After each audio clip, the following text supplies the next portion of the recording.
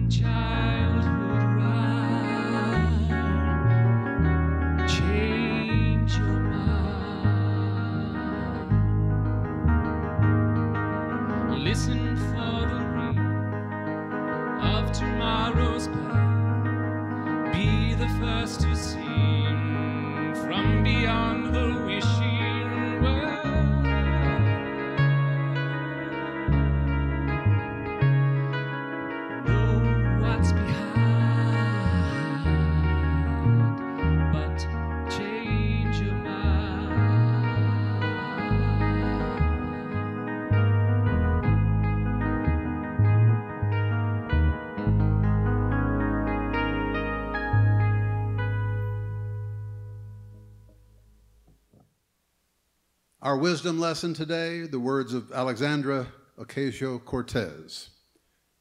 It's important we realize how this virus hasn't just created new problems, but poured gasoline on the crises we've long had. It's okay if you didn't see the extreme urgency of our healthcare, housing, wage, carceral, foreign policy, etc. crises before but I hope you don't unsee them later.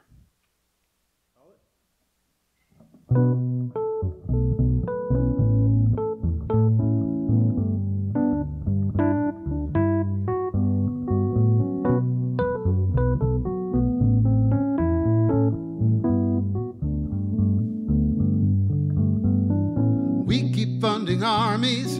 Don't you think it's time for Medicare for all?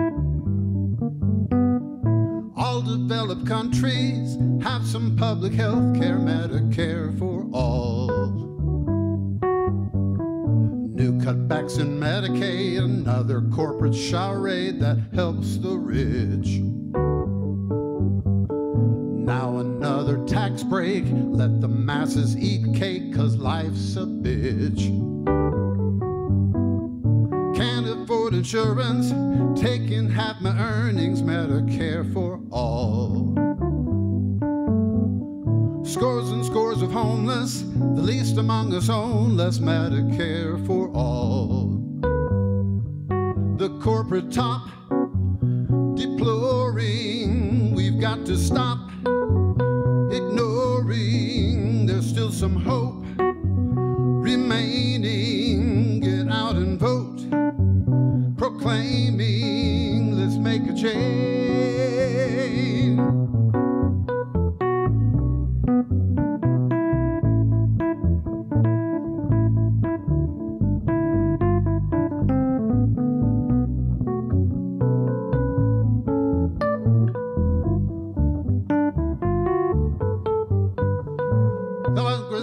Passed new laws that keep us having Medicare for all.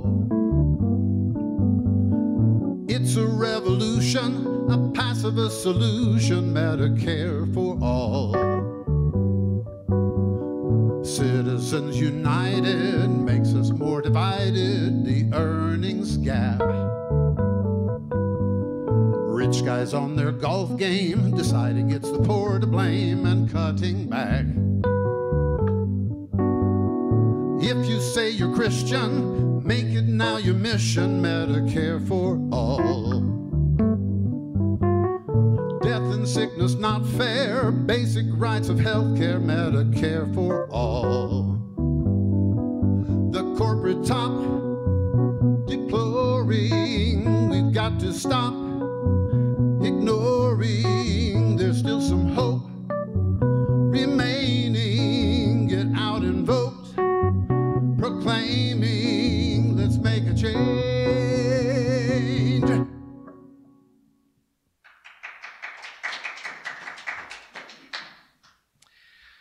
Kennedy was not the first to say that the Chinese character for crisis was made up of two Chinese characters, one meaning danger and the other meaning opportunity.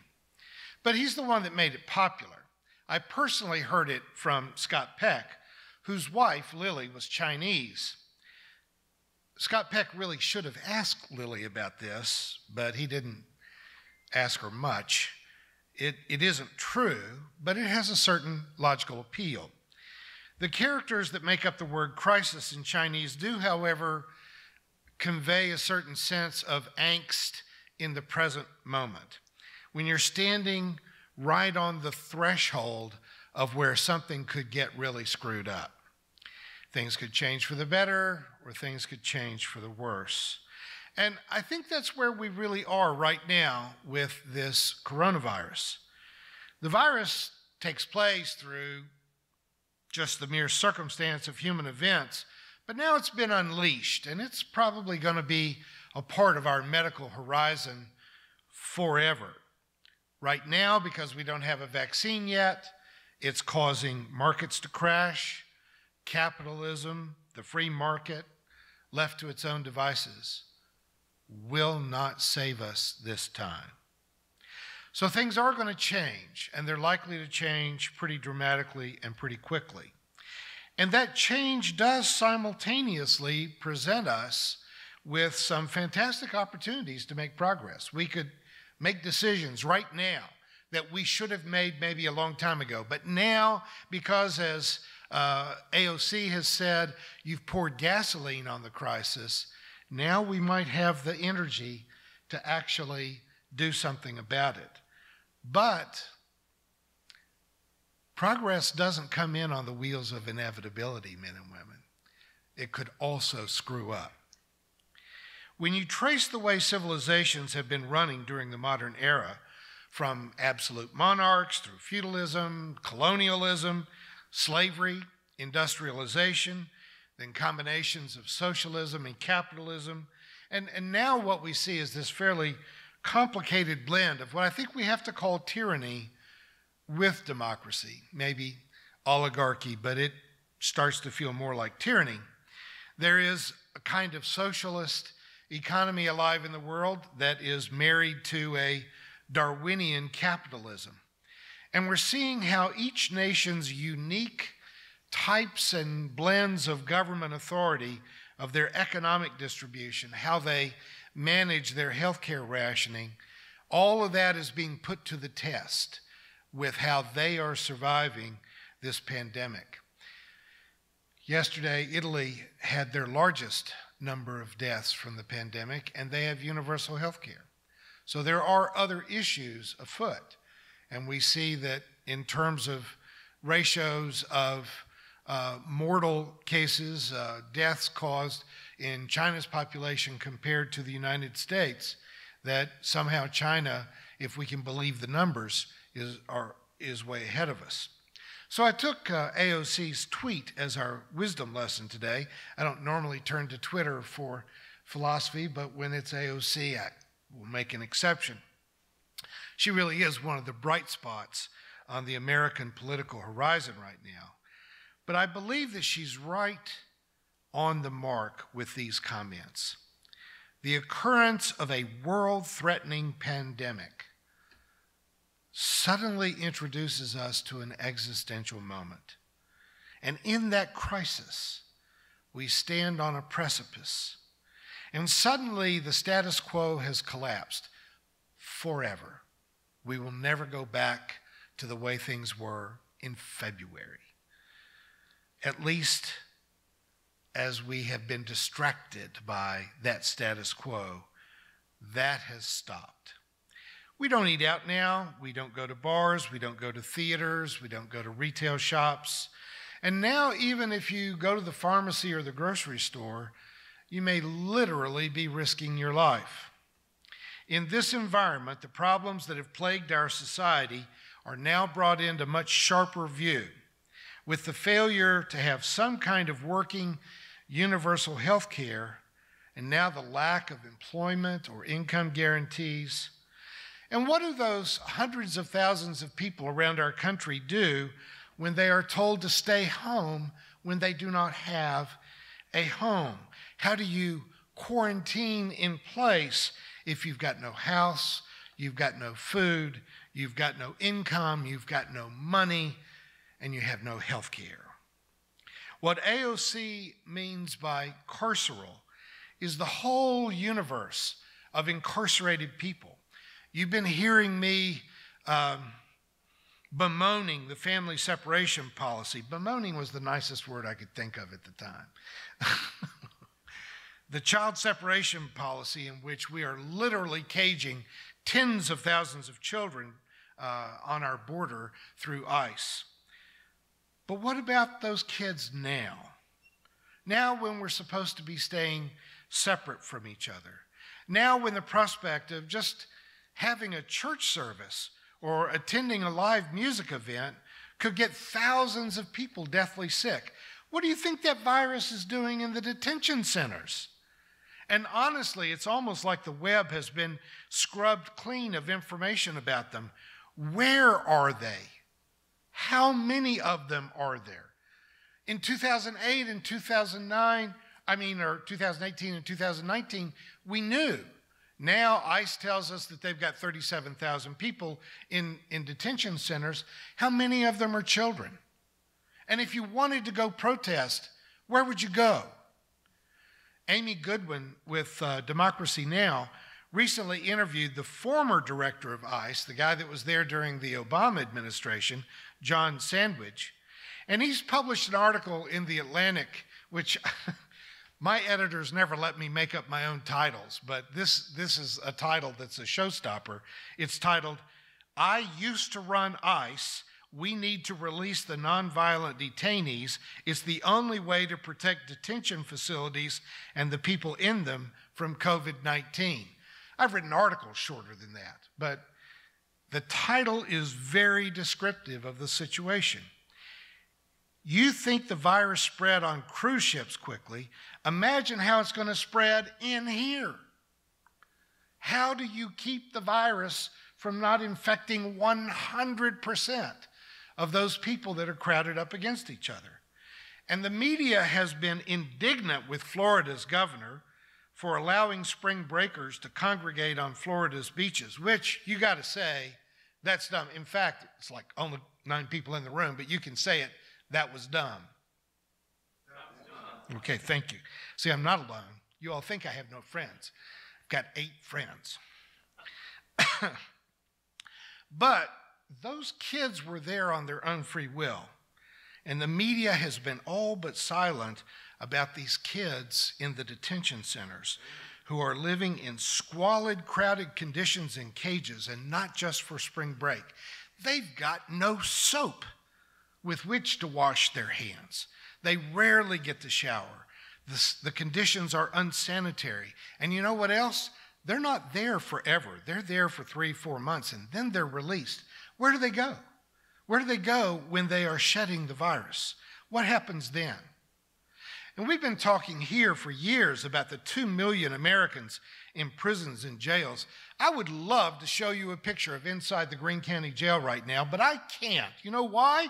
Because you can't go in there. As a clergyman, I can't go in there. If you've got an immediate family member, you cannot visit them in person. No one's allowed to visit in the jail anymore. But you know, they have been putting three and four people in two person cells for years. Two sleep on the bunks, one sleeps on the floor, and one sleeps sitting up on the toilet. Now, how are they going to keep from spreading COVID 19 in the Greene County Jail? Our incarceration system, men and women, it is a nuclear bomb of virus waiting to go off anytime in the next month or two. And all the efforts that we've gone through in social distancing and washing our hands and sterilizing doorknobs and toilet handles and, and cell phones, what does that mean if 2 million people in incarcerated situations come down with this virus and then they're released into the public? Now, this is not a hypothetical. As of Wednesday of this week, prisoners in Los Angeles, in San Francisco, in Leesburg, Georgia, in Waupun, Wisconsin, in Oakdale, Louisiana. They have prisoners in all those places that have already tested positive for the virus. In New York, on Rikers Island, today, there's more than 30 people involved in the New York City correction system who've tested positive, including Harvey Weinstein. And I know you all would love for me to riff on that, but I'm not gonna. We have needed massive criminal justice reform in this country for 40 years. But our evil practice, and I don't mind using the word evil, I'm a theologian. Our evil practice of caging human beings as if they were animals is going to come back and bite the whole society with a potentially uncontrolled spread of the virus. It's been a moral blight on America for two generations, but now they're going to fight back and they're going to fight back simply by spreading a virus. Now, throughout our country, states, municipal governments are shutting down all but essential businesses during this crisis. But locally, gun shops are considered to be essential. Gun shops. The insanely lax gun laws we have somehow endured as 40,000 Americans including toddlers, like this three year old who died in my, near my ancestral home in Lexington, Kentucky last week when he shot himself in the head. We have lived with laws that allow 40,000 people a year to die of gunshot wounds. And I can almost hear the father in this case saying, Well, I didn't know it was loaded, or I always kept that up where the kids couldn't get at it. And now here in Springfield, our local gun shops are setting records for sale of ammunition as our neighbors are all arming themselves in anticipation of what? The toilet paper wars in, in Springfield? Our gun addiction is not just stupid, it's evil. And it's evil because it's lethal. We should have changed them years ago, like every other developed country, but we have to change them now. Men and women, our society has come um, to a point where we have to recognize that it's not just COVID 19 that's making us sick. We've been sick for a long time. We are at a crossroads where we're either going to have to make some very important decisions in short order or we're going to let our negligence run over us. And I got to tell you, our first round of decisions have not exactly filled me with hope recognizing what an extended shutdown of the marketplace would do to their population, Canada, Canada immediately decided to send $2,000 a month to every adult in Canada for four months. Imagine what that says to the marketplace that, that there's going to be business for them, even if they're closed right now, that there's going to be an ability to buy and pent up business when they are able to unlock their doors. England voted to pay 80% of every unemployed person's salary during the layoffs. Denmark voted to pay slightly less, 75%, while the United States voted to give over a trillion dollars in bailouts to corporations and to give its citizens a one time incentive of $1,200. So, you want to know what the difference is between Darwinian capitalism and democratic socialism? This is a pretty good example. Right now, in spite of the weather, wouldn't you rather be living in Canada? In this aid package, the Senate had the Congress absolutely over a barrel. They had to agree to the largest transfer of wealth to the top 1% in the history of our country because they had to vote to give this small bit of aid to the poor and the middle class. The people of this nation are literally being held economic hostage by the corporate control of our government. But we can see, at least by contrast, what the difference is between a country that saves its people first in a time of crisis and a country that saves airlines, hotels, and the cruise ship industry in a time of crisis. Suddenly, Medicare for all just doesn't sound all that crazy, does it? A universal basic income seems almost necessary, certainly more necessary than maintaining. You, you, everyone keeps saying, How are you going to pay for it? How are you going to pay for it? Right now, what we are paying for is 800 military bases in 70 countries, some of which were established so that we could win World War II, which, as best I can tell, has been over for 80 years. And so all we have to do is pull in our military spending and start spending on human beings. I might be wrong about this, but I don't think so. So, who's going to save America in the middle of this Medicare crisis? Will it be the executives at Boeing, at American Airlines, at Hilton Inns? You know they're not going to do it. Now, they are about to give themselves big bonuses out of your pocket. But who stands between us and death? Who stands between us and utter social chaos? Nurses, doctors, respiratory therapists, pharmacists, the EMS workers. And you know who else? The guys who still come around and pick up our garbage once a week. And those low waged employees who are risking their lives to restock grocery store shelves and the kid at the drive in window at Sonic and McDonald's. Those are the people that we need to recognize that even though our culture has said for a generation that they don't deserve a living wage, they do. They are saving our lives, and we need to save theirs. Now, before I close today, I also want to add that this crisis will end. Now, it's not going to end by Easter, and it may not end for several months. But the ultimate solution is a vaccine. And a vaccine typically takes one or two years to develop. But we have a head start on this one, and we have a head start thanks to research that was being done in laboratories in China because their government funded laboratories recognized that rather than coming up with a new ED pill, that they knew that there would eventually be a pandemic and it would probably be a derivation of the coronavirus. And so they have been doing the genetic sequencing necessary to prepare a vaccine. And they have then shared that information with American laboratories.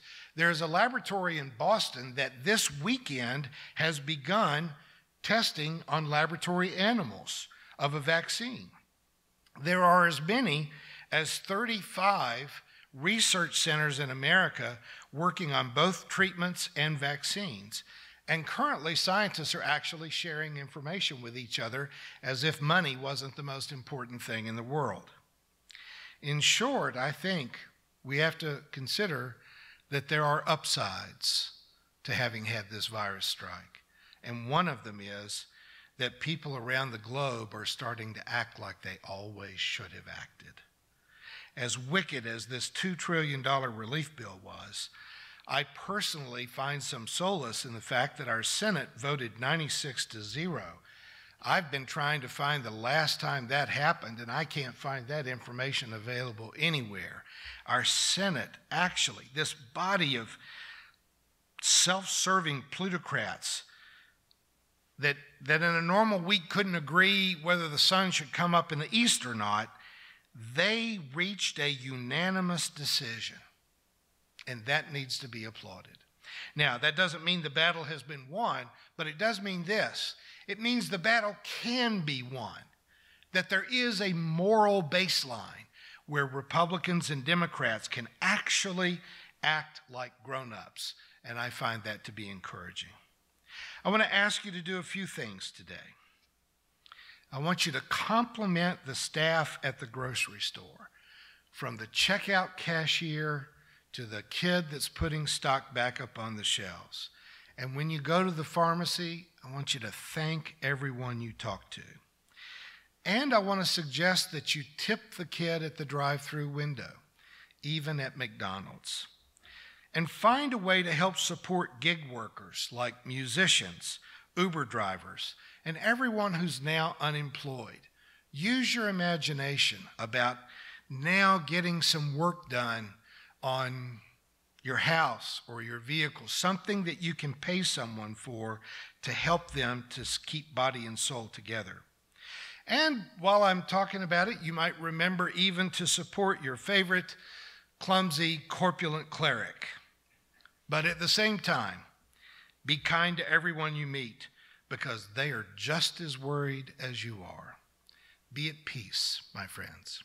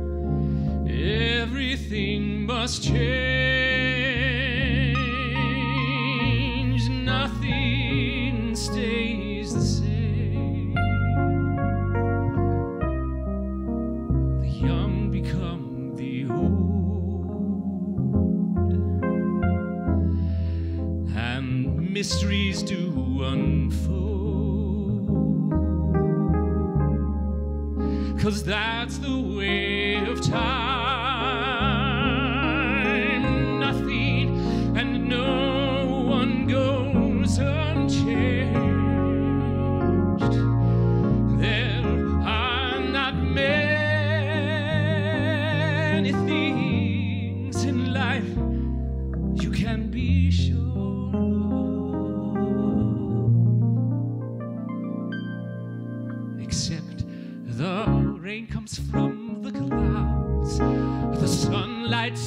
the sky and bluebirds do fly. Winter turns to spring. A wounded heart will heal. but Never much too soon. yes, everything must change. The young become the old, and mysteries do unfold.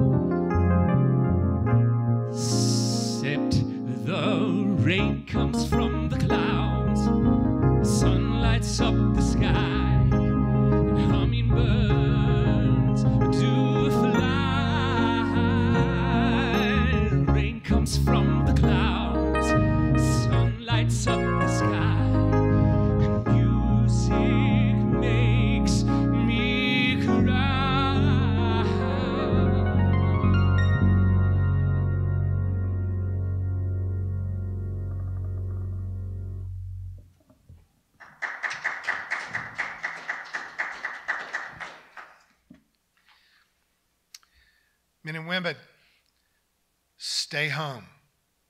Wash your hands. Sanitize the things that you touch regularly. Forgive everyone that lives in your house for everything that they've said this week. And join us here next week. But when you go, go in peace to love and to serve. Thank you for watching our videos. We are entirely dependent on the donations of our listeners and members. We hope that you find this content to be important enough to help us to keep offering these videos to the public at no charge by becoming a regular contributor. Please click on the donate button on our website at www.spfccc.org. Thank you for your support of progressive religious programming.